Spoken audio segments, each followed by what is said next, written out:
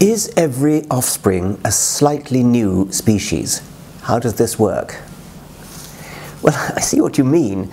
Um, because the variation that exists in every population could be thought of as a tiny step towards a new species. But I think it's pretty misleading to put it that way, to say every offspring a slightly new species. When two populations spring off from one, when a population splits into two by some kind of random accident, some kind of separation, a geographical separation on to different islands or separated on different sides of a river or a mountain range or something like that, then the ordinary variation that happens in every population is no longer tied to each other. These two populations are now free to move in different directions in evolutionary time. So one of them may become a bit darker, one of them may become a bit lighter, one of them may become a bit bigger, one became a bit smaller or something of that sort. Um, every individual offspring is just similar to its parents. You wouldn't really notice that there's any evolutionary trend going on.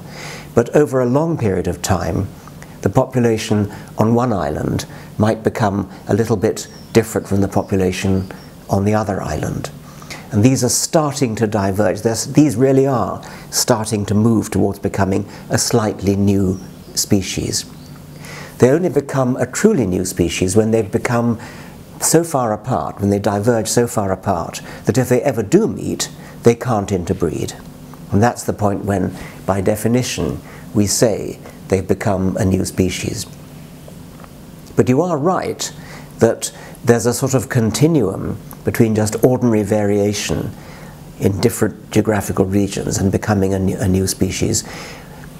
But of all the different taxonomic categories, the species is rather unique in that it's the only one where we actually do have a proper objective criterion for saying now it's happened, now a new species has been born.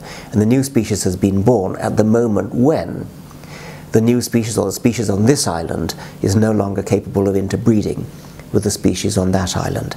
As for why they're no longer capable of interbreeding, well, that's because their, uh, their genes become progressively more incompatible. Their chromosomes may become unable to, to work together to produce offspring of the next generation, something of that sort. Mules, as you know, are a hybrid between donkeys and horses. And uh, a mule is a perfectly functioning organism, but the donkey chromosomes and the horse chromosomes are not capable of coming together to work together to produce uh, the offspring of the next generation. So that the mule, although it's a perfectly functional organism, cannot produce offspring of, of its own.